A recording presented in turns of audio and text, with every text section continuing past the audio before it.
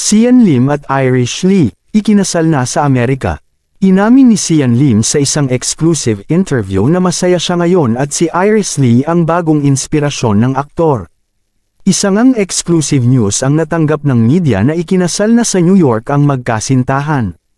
Sobra ang tuwa na nadarama ni Sian Lee at ganoon din naman ang kanyang bagong asawa na si Iris Lee.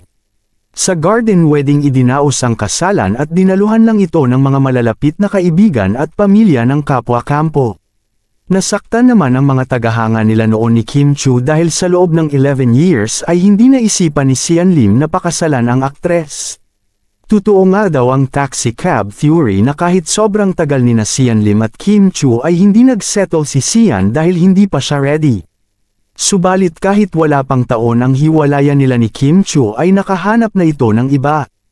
Ayon kay Sian Lim, inaamin ko na girlfriend ko na si Iris Lee at napagdesisyonan namin na magpakasal na. Ang relasyon naman ang pinapatagal at hindi naman mahalaga kung bago lang kayo nagkakilala. Matagal ko naman ding kilala si Iris Lee dahil producer siya ng mga movies ko noon. I admit that I want to forget the past and move on. Tama na po ang pangbabash sa aking asawa at masayang masaya kami ngayon.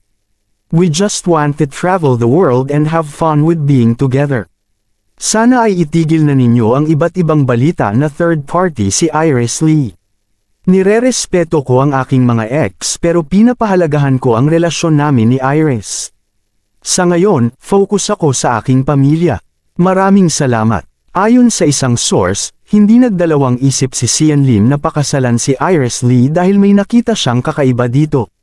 Hati naman ang tingin ng netizen sa nasabing balita.